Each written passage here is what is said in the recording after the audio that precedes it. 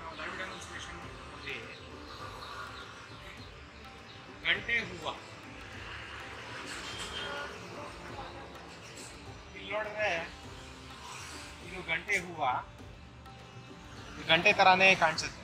ಇದನ್ನು ಐಡೆಂಟಿಫೈ ಮಾಡೋದು ಈ ಥರ ಮತ್ತು ಇದರ ಎಲೆಗಳು ಚೂಪಾಗಿರ್ತವೆ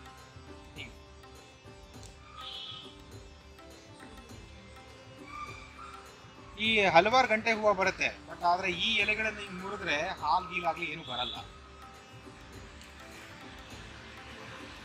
ಇನ್ನ ಬೊಟಾನಿಕಲ್ ನೇಮ್ ಟೆಕೋಮಾ ಸ್ಟ್ಯಾನ್ಸ್ ಅಂತ ಹೇಳ್ತಾರೆ.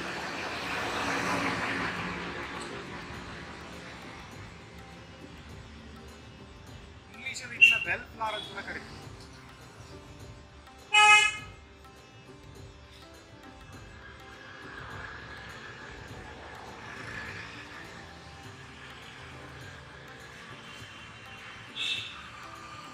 ಫ್ಲವರ್ ಅಥವಾ ಗಂಟೆ ಹೂವಿನ ಉಪಯೋಗಗಳೇನು ಅಂತಂದ್ರೆ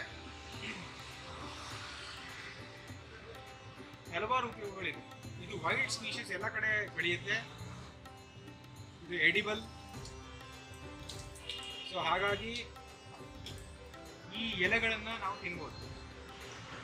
ಏನಕ್ಕೆ ತಿನ್ಬೋದು ಅಂತ ಹೇಳಿದ್ರೆ ಹೈಪರ್ ಗ್ಲಸಿಮಿಯಾ ಅಂತ ಹೇಳಿದ್ರೆ ನಿಮ್ಮ ಡಯಾಬಿಟಿಸ್ ನಿಮ್ಮ ಶುಗರ್ ನಾನೂರು ಮೇಲೆ ಈ ಎಲೆಗಳನ್ನ, ಹತ್ತು ಎಲೆಗಳನ್ನ ಪ್ರತಿದಿನ ಬೆಳಗ್ಗೆ ಕನ್ಸ್ಯೂಮ್ ಮಾಡೋದ್ರಿಂದ ನಿಮ್ಮ ಡಯಾಬಿಟಿಸ್ ಲೋ ಆಗುತ್ತೆ.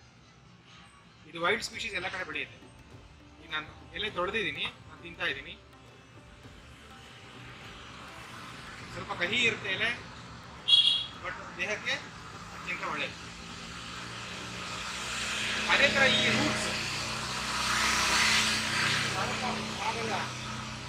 ಕೆಳಗಡೆ ಇರುವಂತಹ ರೂಟ್ಸು ಆಂಟಿ ರೇಬಿಸ್ ಅಂತ ಹೇಳಿದ್ರೆ ನಿಮ್ಮ ನಾಯಿ ಕಚ್ಚಿದ್ರೆ, ಆ ನಾಯಿ ಕಚ್ಚಿದ್ರೆ ಅದಕ್ಕೆ ಔಷಧಿ ಆಗುತ್ತೆ. ಹಾವು ಕಚ್ಚಿದ್ರೆ ಅದಕ್ಕೆ ಔಷಧಿ ಆಗುತ್ತೆ. So it is also anti venom and anti rabies so ಹೆಂಗೆ ಐಡೆಂಟಿಫೈ ಮಾಡೋದು?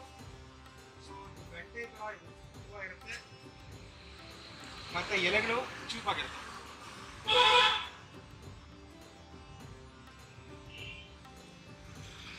ಇದು ವೈಲ್ಡ್ ಸ್ಪೀಶೀಸ್ ಎಲ್ಲ ಕಡೆ ನಿಮಗೆ ಕಾಣಿಸುತ್ತೆ